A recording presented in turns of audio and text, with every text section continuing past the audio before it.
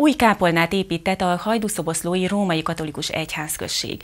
A Veselényi utcai ingatlanon a régi épületet már bontják a munkások. Az új kápolna 150 millió forintba kerül. Az összeget a Debrecen Nyíregyházi Római Katolikus Egyházmegye adta az építkezésre. Az impozáns épület várhatóan ez év őszére készül el. Ezek a felvételek néhány napja készültek. Akkor kezdték el lebontani a Veselényi utca elején található kápolnát. Láthatjuk, hogy az épület utcafronti homlokzatának egy része leomlott. Az omlás még a bontás megkezdése előtt történt. A munkások közül senki nem sérült meg. Azóta folyamatosan dolgoznak a régi kápolna elbontásán. Ez úgy kezdődött, hogy már nagyon rossz volt az épület, le kellett bontani, és amikor már idejöttünk, azon percen már ki is a tűzfa, és ezért le kellett bontani az egész épületet. Az épület nagy része vályokból épült, de egy kevés téglát is felhasználtak az építésekor. Az 1920-as évekből való téglákon még jól látható a címer.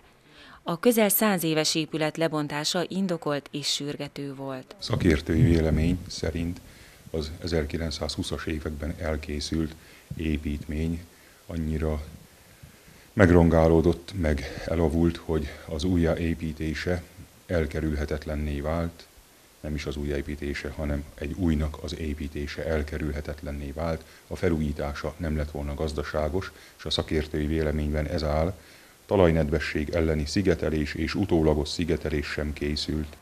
Gazdaságos átépítésre, bővítésre az épület alkalmatlan, éppen ezért szükséges volt az, hogy egy új kápolna építésében gondolkodjunk, a kápolna falazatán a szakadások nyomai észrevehetők voltak, és most január 31-én reggel a második és a harmadik ablak közötti fal rész magától kidőlt, a stablondeszkától egészen az aljáig a járdára. Ezek a látványtervek pedig az új kápolna utcafronti és udvari homlokzatát mutatják.